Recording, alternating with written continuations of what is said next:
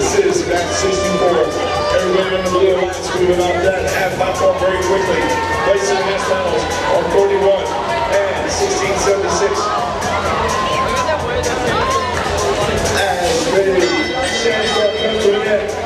The Red Alliance, Sugar 93, did place cargo into the blue Red Alliance cargo ship.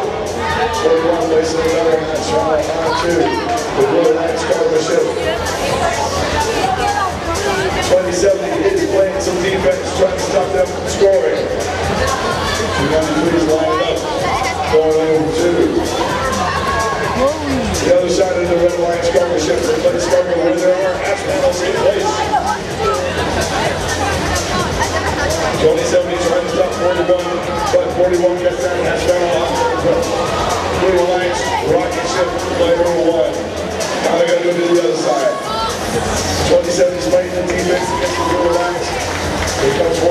41, back to get another.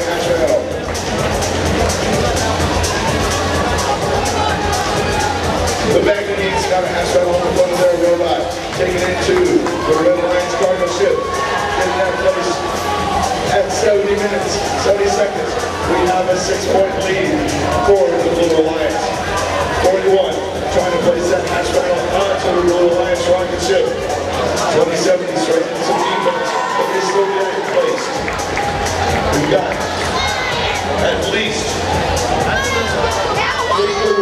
like four good on the Blue Alliance rocket.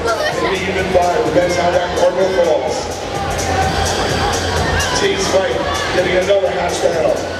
As the tidbits are playing defense, waiting for them to come along with it so they can knock it out. Manganese trying to fill that cargo ship, getting another hatch panel placed on there, but now we have 30 seconds left.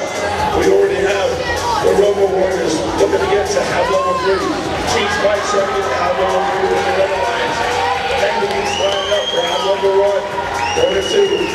Here comes 2070 Royals. They get on the HAB. 1676 gets to the Four seconds left. Looks like the Blue Alliance and the Red Alliance. Both just the Blue Alliance starts ranking point.